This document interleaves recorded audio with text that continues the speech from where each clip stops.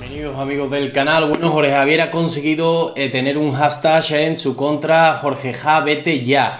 Y se lo está ganando a pulso y es que por lo visto hay a tres personas, en concreto a tres mujeres, sí, a tres mujeres. Este feminista selectivo, pues por lo visto hay a tres mujeres con las que no puede. Una es Olga Moreno, ¿no? Recordáis que decía que debería haber devuelto el dinero ganado en Superviviente por haber mentido. Es decir, a esto se refería, no sé si recordáis, eh, por el tema del divorcio. Vamos a ver, tú reconoces que es una gran concursante y que ganó por ser una gran concursante. Lo que haga en su vida privada no tiene nada que ver, con lo cual ahí se te desmontas a ti mismo. Lo fácil de todo esto y lo más interesante es que al final eh, no tengo ni que desmontarlo yo, se desmonta el mismo, pero bueno. Eh, por parte de Olga, eh, me refiero porque, hombre, últimamente es que si lo de la charquita azul y tal, y bueno, por poneros un poco en contexto algunas de las cosas que ha ido diciendo los últimos meses.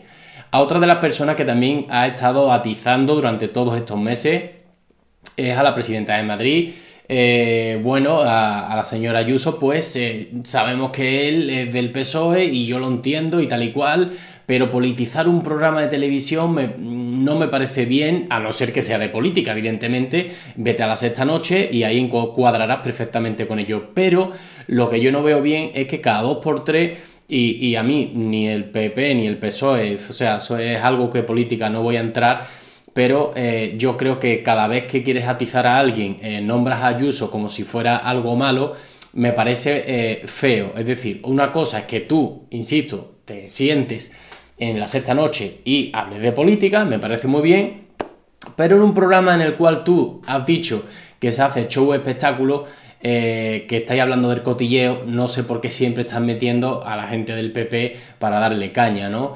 Entonces es algo que no entiendo, insisto, y no es por defender a nadie de política ni nada, pero son cosas que, que no entiendo porque ella a ti no te ha atacado, ¿no?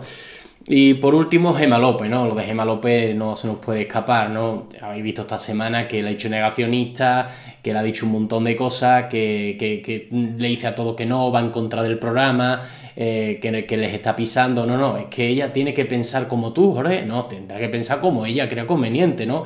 Ella eh, tiene libertad de expresión o ella cree que tiene libertad de expresión y en esa libertad de expresión que en teoría la habéis dado, eh, ella va a seguir ejerciendo esa misma eh, libertad de expresión para decir lo que piensa. Si piensa en algo distinto a ti, lo dirá sin ningún tipo de problema. Que la coartáis, pues veréis a una gema un poco más callada, veréis una gema distinta y como habéis visto en los últimos momentos, en los últimos eh, meses, pues se irá diluyendo hasta que la echéis de alguna manera o de forma como José Manuel, Juan Manuel, José Manuel, no me acuerdo ahora mismo, lo, echaréis de aquella manera o en plan moving como se ha hecho con Paz Padilla, ¿no? Todos contra ella, que se sienta ahí acorralada y que diga abandono el plató y ya luego despido, despido procedente hasta que el juez indique lo contrario, ¿no? Así que nada, amigos, me gustaría que dejaseis vuestros comentarios que os ha parecido un poco todo lo que está haciendo Jorge Javier en los últimos meses tema Olga, no lo ha dejado en paz, eh, tema Ayuso, tema Gema López. Es decir, al final, si os dais cuenta, este feminista selectivo eh, contra las mujeres que no le caen bien eh, va, va, a saco por ella. Es decir, ninguna de estas tres personas han dicho nada malo de Jorge Javier nunca. Es que es curioso, entonces, pero no, él va, él va a su rollo, él cree conveniente atizar a estas tres señoras y lo hace y punto, ¿no? Así que nada, dejar vuestros comentarios, como ya sabéis, nos vemos en el siguiente vídeo. Saludos.